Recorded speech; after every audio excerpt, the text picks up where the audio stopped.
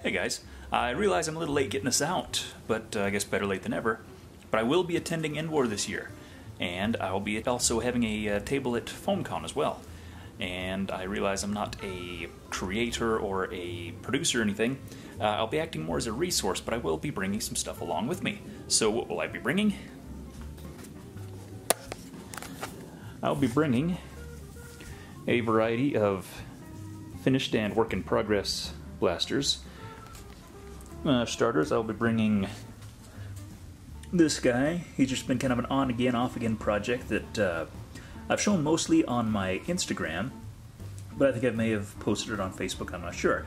But it's been just kind of a thing I tinker with once in a while. It has really no end goal or destination or anything, it just kind of develops as I see fit.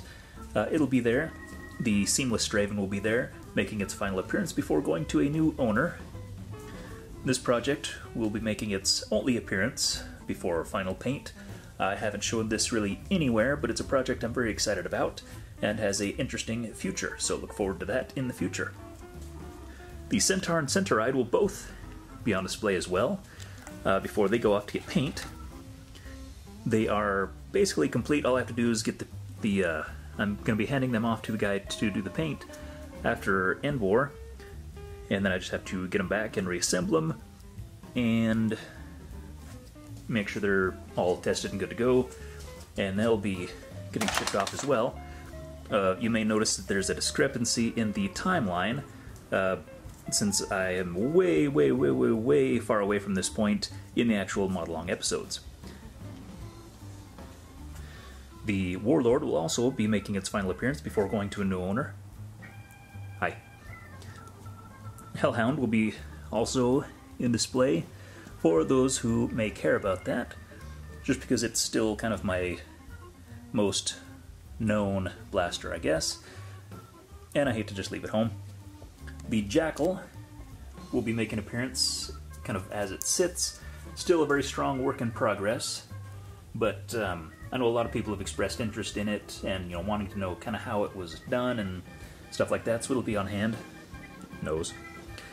Um, just for display purposes, you can kind of handle it and look at it. The yellow jacket will also be on hand. It looks a bit different than the last update, I believe, but it'll also be there as it sits. Still very much a work in progress, but there again, just uh, just so you can kind of see it and ask questions about how things were done and stuff like that. So um, I was actually only anticipating bringing a couple of these, but I was able to fit more than I expected into my suitcases.